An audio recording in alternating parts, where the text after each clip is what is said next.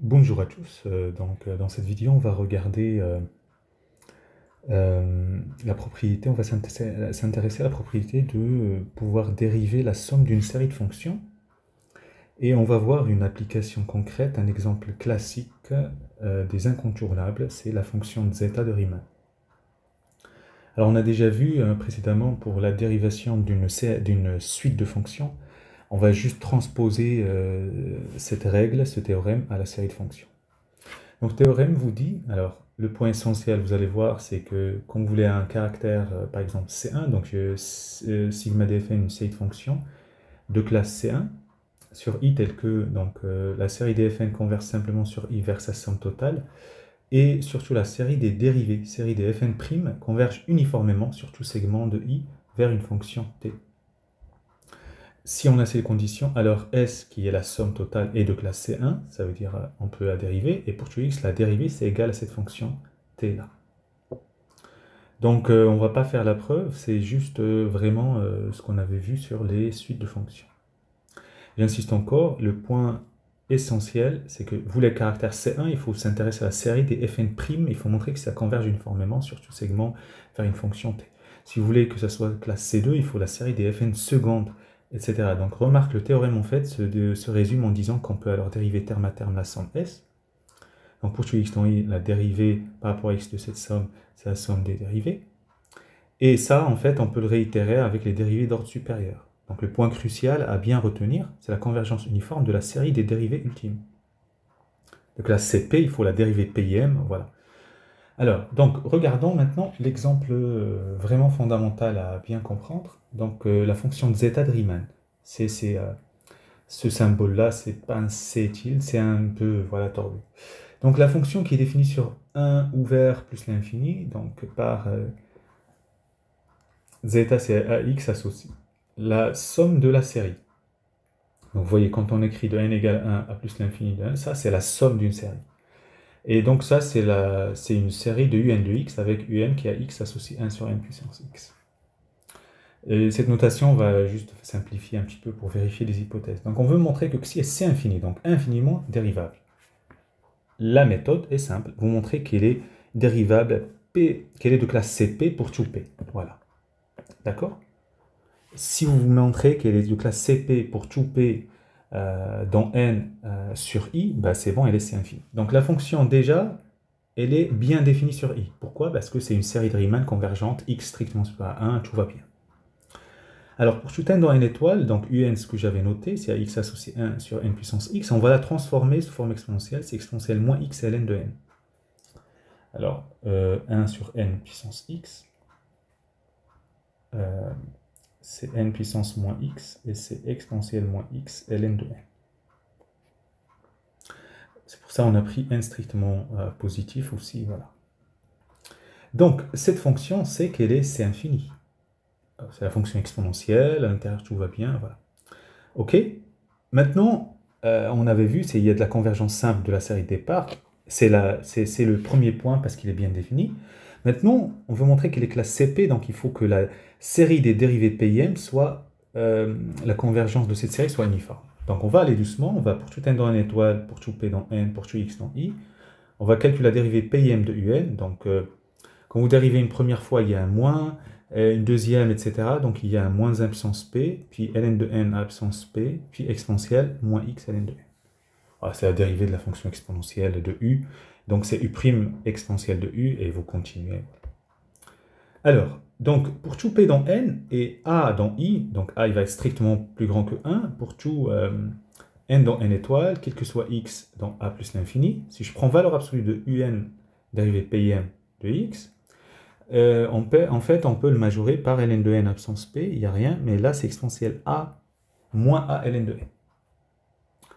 Et donc, donc ça, on peut le réécrire autrement, donc c'est ln de n à l'absence p sur n puissance a. Alors le point qui est important pour avoir, on veut la convergence uniforme, le plus simple c'est la convergence normale. Donc on a majoré notre, le terme général de la série par une quantité qui ne dépend plus de x. Il faut s'intéresser, il faut regarder est-ce que ça converge? Vous voyez, point d'interrogation. Alors, pour montrer que cette expression, donc la série de termes général ln de n puissance p sur n puissance a converge, on va faire le petit coup de petit taux. Donc, on va prendre un gamma dans R avec gamma strictement supérieur à 1 inférieur à A. Et on va regarder la limite quand n tend vers plus l'infini de n puissance gamma fois notre euh, terme de la suite. Ça donne quoi? Ça donne ln de n absence p sur n puissance alpha, euh, non, a moins gamma, pardon. a moins gamma est positif, par croissance comparée, ça tend vers 0. Donc, notre terme général, c'est un petit taux de 1 sur n gamma, et la série des 1 sur n gamma converge, série de Riemann gamma strictement positif. Par comparaison, donc, euh, la série, elle converge. Donc, euh, d'où la convergence normale de la série des dérivés PIN, donc uniforme, sur tout intervalle A plus l'infini, A strictement positif, euh, plus grand que 1, pardon. Par théorème qu'on a exposé au début, xi est de classe C infini. Euh, peut-être il fallait marquer ici SE pour tout P dans, dans N étoile. Voilà, donc la, la, qui est de classe infini. Maintenant, en fait, on va s'intéresser au comportement de cette fonction au voisinage de 1, parce que vous avez bien vu que euh, la fonction, elle est définie sur 1 ouvert plus l'infini. Donc on veut un équivalent au voisinage de, plus, euh, de, de, 1, on va aller étape par étape. Déjà, on va montrer quand la limite, euh, la quand x tend vers 1, le xi de x, c'est plus l'infini. Alors, on va commencer tranquillement. On sait que la série harmonique diverge. Pourquoi je parle de série harmonique? Parce que prenez la fonction xi en 1, vous tombez sur 1 sur n. Et donc Hn qui est le terme général de série harmonique, donc ça on sait qu'elle diverge, elle tend vers plus l'infini. On traduit ça, si A est strictement positif, réel, il existe un rang à partir duquel Hn est supérieur ou égal à 2A. Voilà, c'est la traduction de la limite infinie.